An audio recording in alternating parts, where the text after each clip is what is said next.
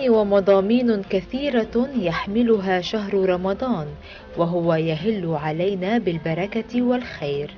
وبأجواء روحانية يستقبل اللبنانيون الشهر الفضيل هذه السنة حيث نجد الأضواء والفوانيس والزينة التي تملأ الطرقات والمنازل فتعكس أجواء الفرح والبهجة والسرور.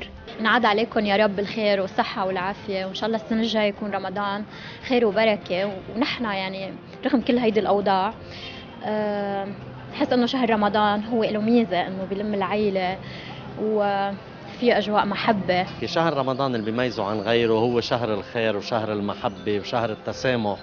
بس أهم شيء إنه الشعب يتعامل بهي الطريقة هيدي ينعاد عليكم وعلى الجميع. آه، أكيد رمضان يعني هالسنة شوي صعب آه، عم بكون علينا يعني. بس أكيد الحمد لله بنضلنا عم ننطرب مثل كل سنة مبسوطين. ما عم نشتري مثل قبل.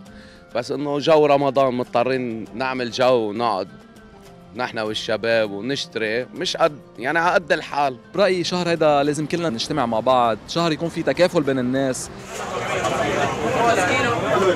ورغم ضيق الحال في لبنان لا يزال اللبنانيون متمسكون بالسفرة الرمضانية المتنوعة حيث نشهد ازدهارا في تجارة المأكولات ولا سيما الحلويات بكافة أنواعها مثل المشبك والقطايف وغيرها من الأصناف الخاصة بالمائدة الرمضانية. أكثر شيء مشهور برمضان مثلا المدلوقة القطايف زنود الست ورد الشام مثلا القطايف عصافير لا بينعملوا بغير رمضان بس مش كل شيء. يعني المدلوقة بتنعمل غير رمضان بس آه، القطايف آه، القشطه بتنعمل بس برمضان الشعايبيات بالقشطه برمضان. شهر فضيل عليكم وعلى لبنان وعلينا وعلى الأمة العربية كلها. إننا الآن في شهر عظيم مبارك ألا وهو شهر رمضان حيث يشكل هذا الشهر بابا روحانيا لإقامة الشعائر الدينية التي تنعكس إيجابا على المجتمع. لبرنامج صباحات رمضانية نيفين سموري بيروت.